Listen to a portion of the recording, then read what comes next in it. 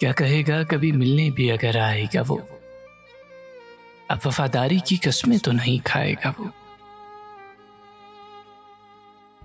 हम समझते थे कि हम उसको बुला सकते हैं। वो समझता था, हमें भूल नहीं पाएगा वो। कितना सोचा था और इतना तो नहीं सोचा था। याद बन जाएगा वो। ख्वाब नज़र आएगा वो। सबके होते हुए एक रोज वो तन्हा होगा। फिर वो ढूंढेगा हमें, और नहीं पाएगा वो।